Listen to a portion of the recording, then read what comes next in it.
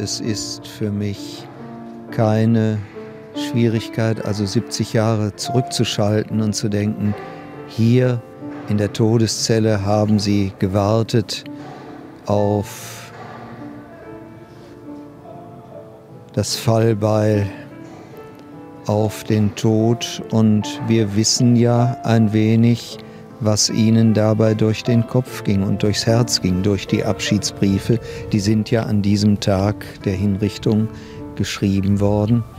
Und wenn da einer schreibt, äh, ich glaube an Gott, ich bin gespannt, wie das jetzt ist mit dem ewigen Leben, das, was ich bisher gepredigt habe, das darf ich jetzt schauen, das äh, wird jetzt Wirklichkeit ja, das ist schon sehr bewegend.